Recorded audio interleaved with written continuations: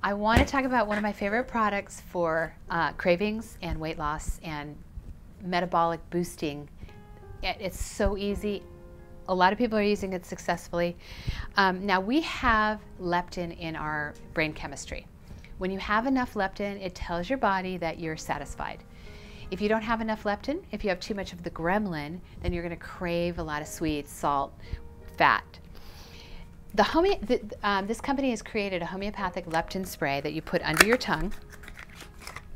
A couple sprays under your tongue before your meal, like 15 minutes before your meal, or when you're craving, like let's say at night or in the afternoon, will really stop your cravings.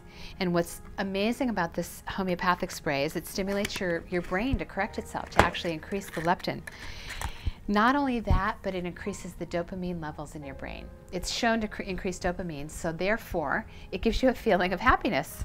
Um, it's very, very, a very unique product. It does stimulate the metabolism, it helps with cravings, and, it, and if you're dieting or even doing the HA2CG diet, it's a really great companion because it helps you when you're kind of craving after late afternoon, nighttime eating.